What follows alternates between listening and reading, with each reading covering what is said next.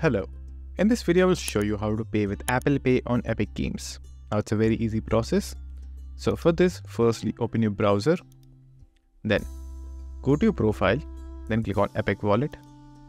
Now, right over here, you will have two options. You can add funds directly in your wallet and then you can use that funds to buy any game on Epic Store or you can just link your Apple Pay card directly over here and then just use that while purchasing any game. So let me give an example. So let's say you're purchasing game.